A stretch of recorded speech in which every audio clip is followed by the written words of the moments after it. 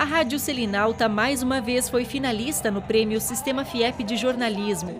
Em 2019, foram 165 trabalhos inscritos em cinco categorias. Na noite desta terça-feira, os vencedores da sexta edição foram revelados. Na categoria Rádio, a reportagem Indústrias abrem espaço para a força do jovem, do jornalista Tiago Tessaro, ficou com o terceiro lugar.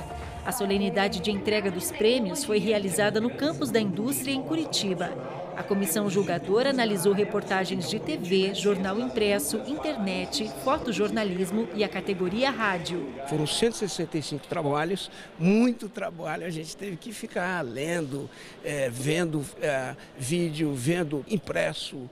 É, agora, a internet, que é uma coisa nova, uma categoria nova, para que a gente pudesse chegar aos resultados.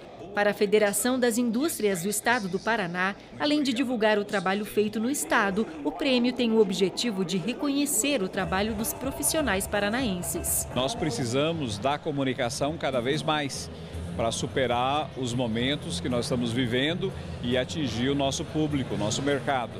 Por isso, esse prêmio, ressaltando as boas reportagens, o bom jornalismo, é tão importante para a indústria do Paraná. É motivo de orgulho estar representando o nome da Rádio Selinal, tem em Curitiba, com tantos é, trabalhos que é, foram premiados, tantos, tantos jornalistas que se inscreveram, um recorde de inscrição e mais uma vez ter o nosso trabalho reconhecido é, nos dá ânimo aí para continuar essa caminhada de informar, de correr atrás da informação correta e trazer a todos que nos acompanham no dia a dia pela Rádio Selinal.